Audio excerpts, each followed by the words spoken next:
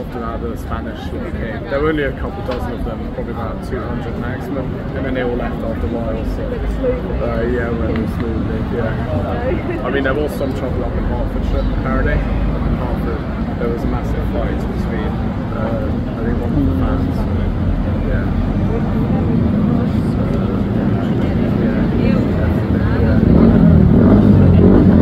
Also, yesterday there was a protest. There were also a couple many protests on the channel. So uh, there was was Sri Lanka whatever.